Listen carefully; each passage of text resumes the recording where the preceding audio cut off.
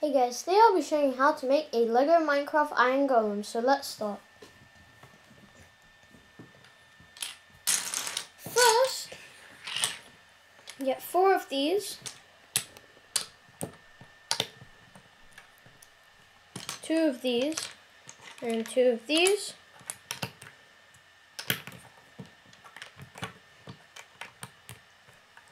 Then next, get two of these one of these, four of these. Then put this here and also get four of these and place two here, two here,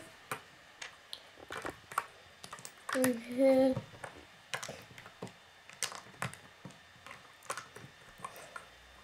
And next, Get one of these and then place two of these on top of it, like that. Get two of these, place them on, like that. This here, this here, these two here, like that. Here's the finished thing. I hope you guys like it. Subscribe to see my videos. Bye guys.